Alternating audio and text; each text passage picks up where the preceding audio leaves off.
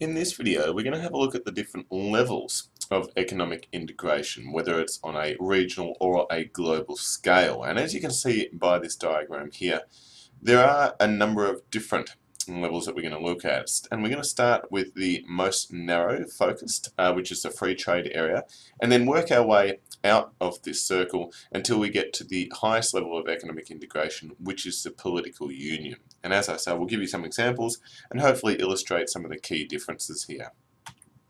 The most basic level of economic integration is a free trade area. This is where all barriers to the trade of goods and services amongst the countries that are involved in this free tra trade area are removed. Uh, however, each country is still allowed to determine its own trade policies in relation to non-members, that is, countries that are not involved in the free trade area.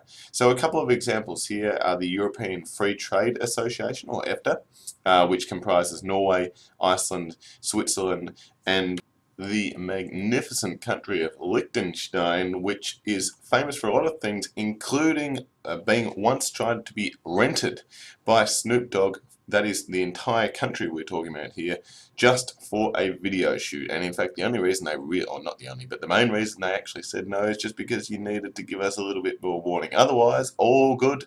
Snoop Dogg, whatever you say not your usual country. Liechtenstein, a total area of only 160 square kilometres, so it is very tiny, and was attempted to be rented out for a music video. NAFTA is another key example here, the North American Free Trade Agreement, which comprises the US, Canada and Mexico. So the key takeaway of a free trade area is it is quite basic. You certainly remove those key barriers to trade, the impediments such as tariffs and import quotas, um, but certainly the uh, countries involved in that particular free trade area do have a lot of freedom and autonomy to determine their own uh, external trade policies with non-members. The next level up of economic integration is a customs union. Now this is where we eliminate the trade barriers like in a free trade area, uh, but also now adopt a common external trade policy. So it's the next level up here where you're adding that external trade policy that is shared amongst all of the member countries uh, on top of the removal of those trade barriers. So an example here is the Andean community which is uh, uh, located in South America, comprising Bolivia, Colombia, Ecuador and Peru, who are well known for a lot of things, including certain plant-based products. The next level up is a common market. So this has no barriers to trade between member countries, uh, that common external trade policy, and on top of that adds the free movement of factors of production uh, which includes obviously machinery, equipment, and in some cases labor. So an example here would be MERCOSUR, which is a uh, free trade uh, agreement that comprises Brazil, Argentina, Paraguay, and Uruguay, so some of the key South American countries there as well. So you, you can hopefully already see that each of these levels of economic integration builds on the previous one and simply adds additional layers uh, of requirements for them. Moving up now, and the fourth level of economic integration is an economic union. Now this is where you have the free flow of products and factors of production between members, that common external trade policy, but also now adding a common currency, a harmonized tax rate, and also a common monetary and fiscal policy. So a good example here is the European Union, which until very recently involved countries like Germany, and the uh, and Great Britain. Of course, Germany still remains, but Britain, through Brexit, has opted to leave. Uh, and when you look at photos like the one there between the former British Prime Minister David Cameron and the Chancellor of Germany, Angela Merkel, just being weird together, you don't wonder why, perhaps. And why are they just weird politicians like that?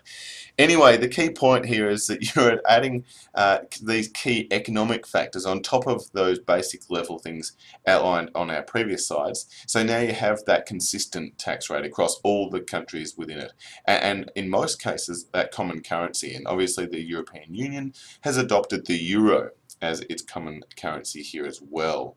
The final and highest level of economic integration is a political union. So this involves, on top of all the other things involved with an economic union in the lower levels here, adds a central political apparatus that coordinates the economic, social and also foreign policy of the member countries. Now, as it stands at the moment, the EU is at least headed toward at least partial political union. It was designed so that ultimately it would uh, become a polit partial political union. And there is a governing body of sorts uh, within the EU where you have representatives from each of the different member countries who do sit there and make some key political decisions. But it isn't a political union in the same way that the United States is a political union. Of course, previously the United States, which is exactly why the name is, or where the name is derived from, used to be a collection of separate individual states who were effectively governing themselves as countries,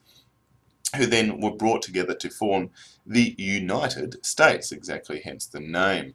So they are a true example of a political economy, and, and it'll be interesting to see whether the European Union does eventually head down that path as well, where you have actually a single country in effect uh, within the EU.